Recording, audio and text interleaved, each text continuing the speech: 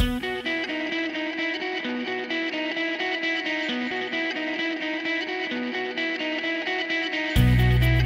my name is uh, Tony Royal, and I'm uh, Vice President of Technology at Jenike Johanson.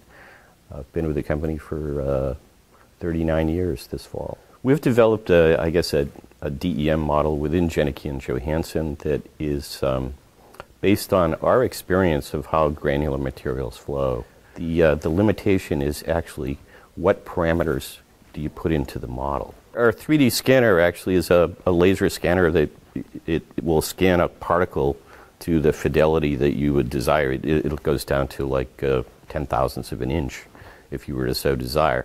Uh, our models can't handle that sort of uh, uh, a resolution at this point, but, but we can get the general shape of, of the particle, and we simplify that model from the scanner.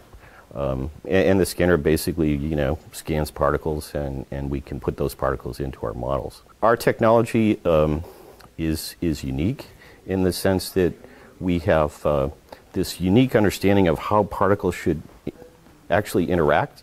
That friction is a huge component of that, and that's our experience in our laboratories throughout the world have the ability to understand and calibrate those models to how granular materials really flow and not just make pretty pictures. We've modeled everything from really small things with the Army Corps of Engineers looking at chromatography columns that were one millimeter in diameter um, and how to fill those to really large mining operations. Some of the wildest ones have been like mining um, uh, manganese nodules from the bottom of the Pacific Ocean.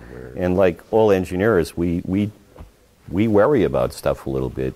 You know, nature is insidious. It finds whether or not something works or not instantly.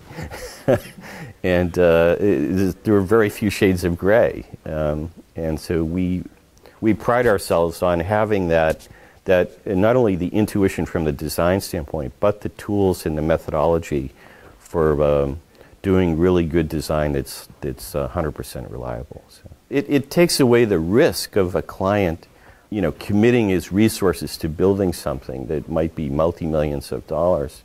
Um, but it is very rewarding to know that you've really helped steer them in a path that, that has basically mitigated that risk and it's uh, you know very much a success. It's not just analysis that we do; we do design, and design requires uh, multiple iterations of analysis. And, and the key of our product is it makes that process easy.